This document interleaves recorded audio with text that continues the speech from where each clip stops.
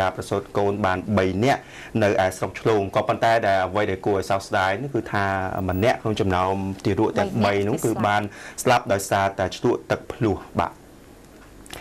ស្ត្រីជាកសិករម្នាក់បានប្រសូតនៅទីរិកា3នាក់គឺដែលទៅកាន់ចំការជាមួយនឹងប្តីបាទធ្វើដំណើរទៅកាន់ចំការជាមួយនឹងប្តី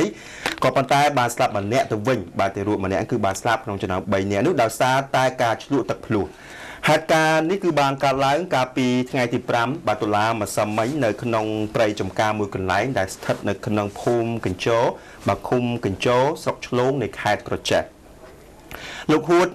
សុកកូនដែលមានអាយុ36ឆ្នាំ មានមុខរបរជាកសិករបានឲ្យដឹងថាប្រពន្ធរបស់គាត់ឈ្មោះហៃកឹមហ៊ានបាទអាយុ35ឆ្នាំ លោកថាពេលទៅដល់ចំការប្រពន្ធរបស់គាត់បានរកកលឈឺពោះ បាទហើយក៏ប្រសូតបានទីរិកា3នាក់តែស្លាប់ម្នាក់អឺដោយសារស្លាប់ម្នាក់ចុងក្រោយដោយសារតែឆ្លក់ទឹកភ្លោះ គូបញ្ជាក់ថាប្រមុខរាជរដ្ឋាភិបាលកម្ពុជាគឺសម្ដេចតេជោហ៊ុនសែនបានចាត់ទុកកូនភ្លោះ3នាក់គឺជាកូនរបស់សម្ដេចដែលនឹងត្រូវចាត់ចែងឲ្យមានការជួយនៅទំនុកបំរុងបាទផ្សេងផ្សេងហើយបច្ចុប្បន្នទាំងកូននិងម្ដាយកំពុងតែសម្រាកព្យាបាលនៅឯមន្ទីរពេទ្យបង្អែកឆ្លង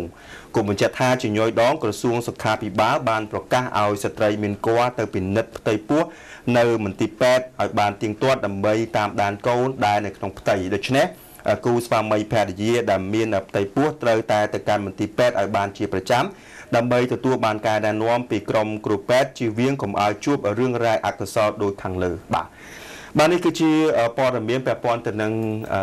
ស្ត្រីម្នាក់បាន ប្រសូតកូនគេហៅថាភ្លោះ3បាទនៅស្រុកឆ្លងប៉ុន្តែអ្វីជាកអកុសលគឺថាបានបាត់បង់ជីវិតម្នាក់ដោយសារតែករណីឆ្លក់ទឹកភ្លោះហើយអ្វីដែលយើងគួរឲ្យសោកស្ដាយគឺថាអឺ យើងអាចនិយាយបានថាយើងចូលរួមសោកស្ដាយចំពោះការបាត់បង់អាយុជីវិតរបស់ក្មេងក៏ប៉ុន្តែយ៉ាងណាក៏ដោយក៏ទាមទារឲ្យមានការអឺប្រុងប្រយ័ត្នឲ្យបានច្រើនបាទដូចជារឿងនេះអញ្ចឹងបើសិនជាក្រុមគ្រួសារសម័យផ្ទាល់ក៏ដូចជា សាច់ញាតិអីបើសិនជាដឹងថាស្ត្រីដែលយើងរៀបនឹងសម្រាប់កូនណាតែចិត្តចិត្តខ្មែរជាស្ដាប់ថាចិត្តគ្រប់ខែបាទចិត្តគ្រប់ខែហើយអញ្ចឹងយើងត្រូវតែត្រៀមខ្លួនត្រៀមខ្លួនត្រៀមខ្លួនហ្នឹងយ៉ាងម៉េចយើងអាសាទៅពេទ្យទៅ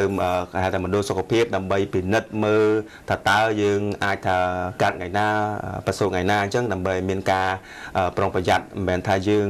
ចិត្តប្រសូតហើយយើងបែរជាទៅចំការទៅអីធម្មតាវាមិនជាគេថាជាកលែអំណោយផលសម្រាប់អ្នកដែលមានគរទេអញ្ចឹងជាសង្ឃឹមថាវាជាសារមួយហើយក៏យើងចូលរួមសោកស្ដាយដែរហើយសង្ឃឹមថាជាសារមួយដាស់តឿនដល់បងប្អូនដទៃទៀតដែលមានផ្ទៃពោះដែលកំពុងមានផ្ទៃពោះត្រូវតែយើងត្រូវតែម្ដងបាទត្រូវតែទៅពិនិត្យពោះឲ្យបានជាប្រចាំព្រោះថាខ្លាចទៅយើងទៅទៅវាមិនអាចថាសុខភាពយើងមិនដើម្បីយើងងាយស្រួលនៅក្នុងការប្រសូតកូនមកមិនឲ្យមានបញ្ហាចាស់ស្ដែងកុំឲ្យស្មាតទោះមិនឲ្យប្រសូតចាមតាមទីវាទីការអញ្ចឹងណាគឺយើងមាន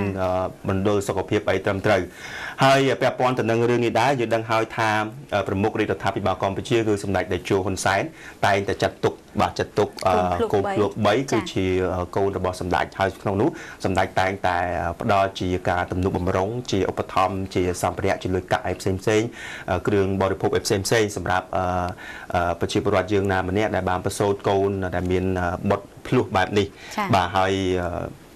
អញ្ចឹងយើងរងចាំមើលអត់ទាន់មានការប៉ុន្តែយើងសង្ឃឹមថានឹងមាននៅក្នុងពេលឆាប់ឆាប់ក៏ជួយត្រេកអរហើយក៏ជួយសម្រាប់ទុកសម្រាប់ពួកគាត់ផងដែរហើយបញ្ជាក់ថាសម្រាប់ទាំងកូនទាំងម្ដាយនៅពេលនេះកំពុងតែសម្រាប់ព្យាបាលនៅឯមន្ទីរពេទ្យបង្អែកឆ្លងបាទ